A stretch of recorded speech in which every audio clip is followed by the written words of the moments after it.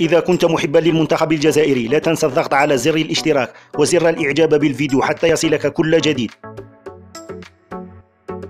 أعلن نادي نيس الفرنسي اليوم الثلاثاء غياب لاعبه الجزائري يوسف عطال لمدة قد تصل إلى ستة أسابيع كاملة.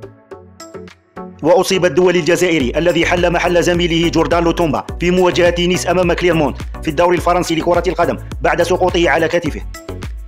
وكشف مدرب النادي الفرنسي كريستوف غالتيه أن الدولي الجزائري سيغيب عن مباراة الغد أمام مارسيليا في الدور الربع النهائي من منافسة الكأس. ونقل النادي تصريحا للمدرب قال فيه يوسف عطال تعرض لكسر في عظمة الترقوة وهو المكان الذي أصيب فيه عام 2019 خلال كأس أمم إفريقيا. سقط عليه مرة أخرى. وأوضح أن اللاعب لديه كسر في المكان نفسه مما أدى إلى غيابه من أربع إلى ستة أسابيع. والأحد الماضي غادر اللاعب السابق لنادي بارادو أرضية الملعب في الدقيقة الرابعة والخمسين من اللقاء الذي خسر فيه نيس أمام كليرمونت بهدف دون رد لحساب الجولة الثالثة والعشرين من الدوري الفرنسي. وبات الدولي الجزائري مهددا بالغياب عن مباراة المنتخب الجزائري أمام الكاميرون في الدور الفاصل من تصفيات بطولة كأس العالم قطر 2022